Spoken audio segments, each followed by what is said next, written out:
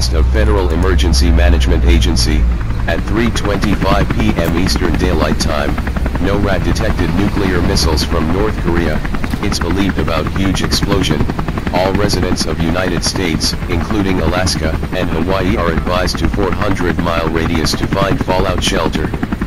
If you can't find fallout shelter, go to underground shelter, fix the cracks doors and windows with tape damp clothing, and damp towels, shelter in place right now before nuclear missiles will coming.